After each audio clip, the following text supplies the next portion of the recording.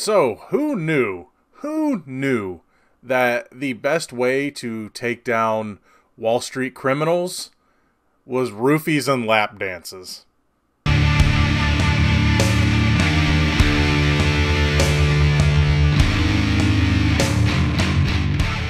Hey everybody, what's going on? Welcome to an all new Talkin' Movies. As always, I am your host, the Reel Geno Geno Reynolds, and today we're going to be talking about the movie based on a true story and based on an article from New York Magazine, The Hustlers at Scores, uh, the movie Hustler starring Jennifer Lopez and Constance Wu.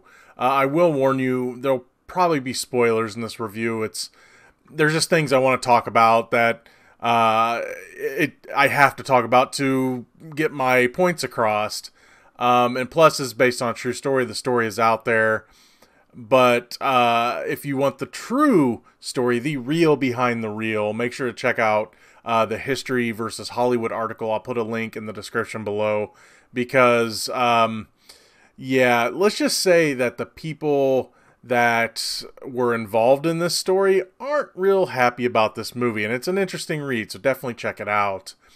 Uh, but what this movie is about, it's about um, a group of strippers that, uh, when the Wall Street crash of 2008 happens, uh, their business kind of goes under in a way, uh, but they find a way to get their clients back and uh, get their money from them. We'll just put it that way. Um, I, I will say this: I this movie, I after seeing the trailer, I expected it to have some comedy in it. This movie was a lot funnier than I thought it was going to be. I'm not going to say it's like a dark comedy or anything, but it's definitely a dramedy because while there is some serious stuff in this movie here and there, most of the movie is played off uh, as serious or as, as silly. Uh, not like like slapstick comedy, but a lot of what's happening is a bit ridiculous, and the way the characters react to it. And there's one character that she her like shtick that keeps happening. She keeps vomiting, uh, and there's a one point in the movie where uh, the police are coming for this character, and it's like she's gonna puke, and sure enough, she pukes, and it's funny. Um, so yeah, a lot of this movie just comes off as funny, but it's good kind of funny. Um, it's not big time slapstick trying to force you to laugh out loud funny. It's just here's this situation, and you know it's when you see it in the trailer where you know they're given the uh, they're given the the Wall Street guys and and the and the the businessmen that they're uh, trying to get money from. They're giving them shots and they're flipping the shots over their shoulders and things like that. That stuff happens. Uh, but then you also see uh, there's a scene in the trailer where uh, Constance Wu's character is taking someone to the hospital. That scene's a lot more extended, uh, and it's kind of funny. um, so even though that's a, it's actually a kind of a serious scene at, at times. There's a lot of humor to it as well. So the movie was more funny than I thought it was going to be, and that's not a bad thing. Um, it kept it entertaining. It kept you somewhat invested in these characters. You really, you really only get invested in a few characters. Um, uh, Jennifer Lopez's character and her daughter, Constance Wu's character, uh, and her kid, and like maybe two others. They they bring in some characters here and there, um, but a lot of them you don't really get invested in. It, it's not, I'm not saying they did a bad job or anything. The the acting in this movie is solid. Now I'm starting to hear uh, early Oscar buzz for Jennifer Lopez. Slow down. I'm, I'm not saying. I mean, she's good in this. Don't get me wrong. This is probably one of her better performances uh, because of the just the story that's being told. But I don't know. I mean, if if they give her an Oscar for it, I mean, hey, that's their thing. Um, I'm not going to say it's one of my favorite performances here. It's a good performance, though. It is by far not a bad one. Um, Constance Wu is really good in this too. Uh, Julia Stiles in this, she she plays Julia Stiles. You know, she's just very straight laced. She plays the reporter that's uh, that's following the story, that's writing the article that this is based on. Um, even though in the movie all the characters' names have been changed and everything. Um, so yeah, the movie set up to where uh, Constance Wu's character is being interviewed by Julia Stiles' character, and she's kind of telling the story.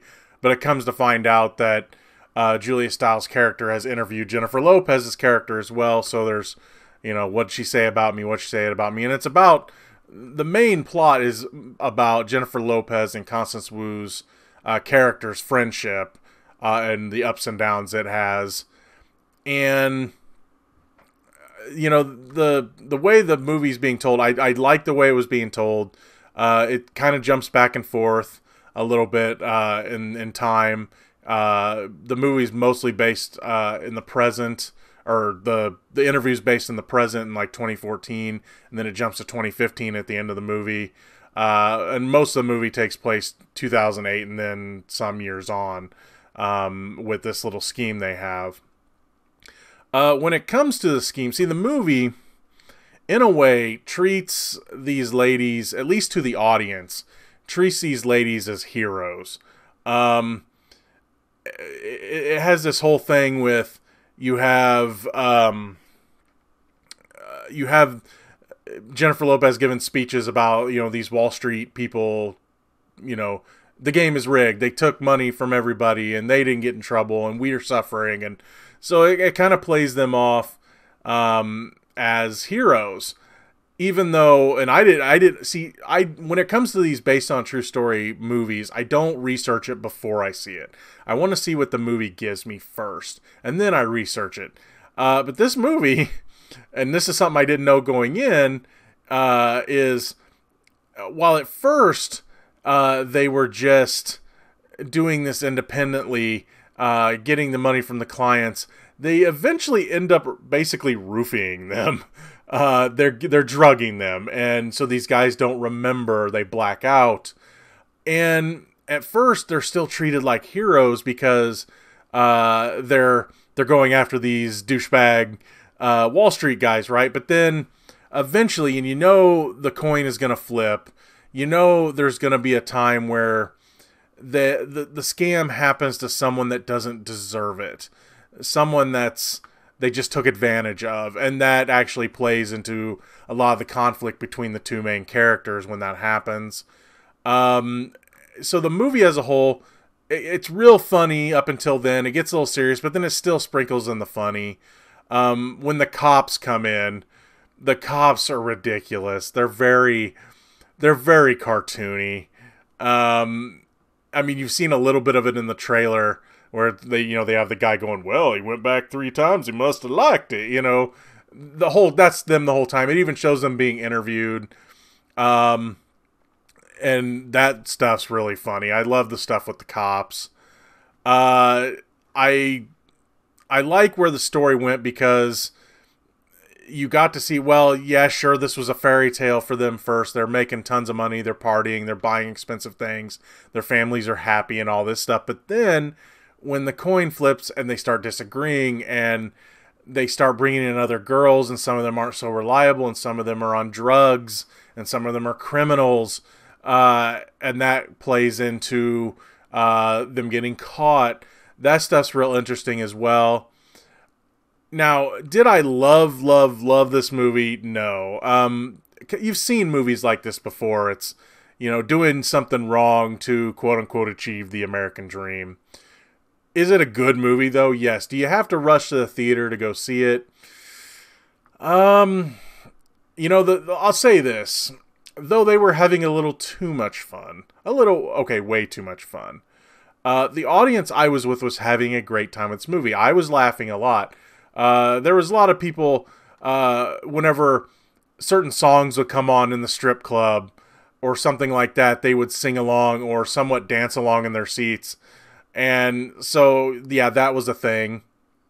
Uh, but you know the tone of the movie when it starts when Janet Jackson kicks in and it goes from there. The people in the audience were having a great time. While I'm saying I don't need to rush to the theater to see this, uh, it would be a, a very good rental. I don't think you're going to be too disappointed if you go to the theater to see this. So, I mean, take that as you will. If you like Jennifer Lopez, uh, you'll like this movie a lot. Again, she's really good. Um, the whole cast is pretty good. Uh, it, it's funny when it needs to be funny. Um, it was a lot less serious than I thought it was going to be, even though there was some serious stuff in it. Um, there's a cameo, uh, a strip club cameo, where all the girls get excited uh, when this certain celebrity comes in. Um, I, I won't spoil that, but it's pretty, pretty funny. Um, and then there's a callback to it uh, in the after. There, there's a there's a bit of a mid credit scene. Um, it's nothing that you really need to stick around for, but the credits before that has a strip club announcer basically saying, you know, hey, the show's over. You don't need to stick around. The girls aren't coming back out to the floor, things like that. And then, of course, it, there's the callback to this celebrity cameo. Um, and that was pretty funny. The celebrity cameo, uh, I'll just say this some of the ladies in the audience were pretty excited uh, when they heard who was coming in the club. You know what I'm saying? so, again, it's a good movie. I really enjoyed this movie. I would recommend it. Uh, at least a rental. Check it out. Um, it is very, I mean, it is very rated R. I will say that. Um, I know there's girls that, and maybe even some guys that are younger that like uh, Cardi B and might want to see her in this. It's probably not for them um, because of the content, but uh, I recommend this movie. Again, I wouldn't say you have to rush to the theater to see it. But if you did, I don't think you're going to be that disappointed. That's going to be all for this edition of Talking Movies. If you like what you've heard here, please subscribe to the Reel Geno YouTube channel, like this video, and you have anything to say about Hustlers, please feel free to leave a comment in the section below. Until next time, I am your host, the Reel Geno, Geno Reynolds. See you later.